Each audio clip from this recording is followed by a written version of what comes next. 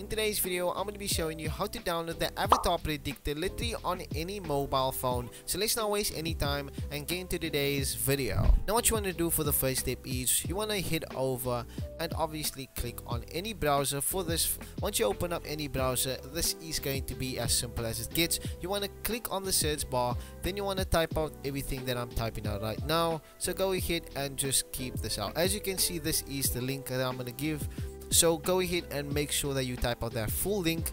So once you go ahead and you typed out that full link all you now want to do is you want to go ahead and click on the search bar.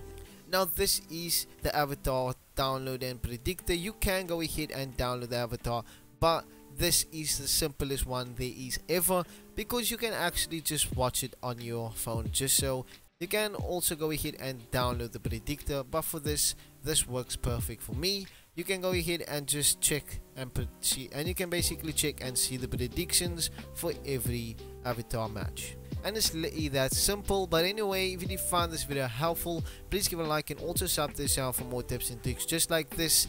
I will find you in the next video and keep on winning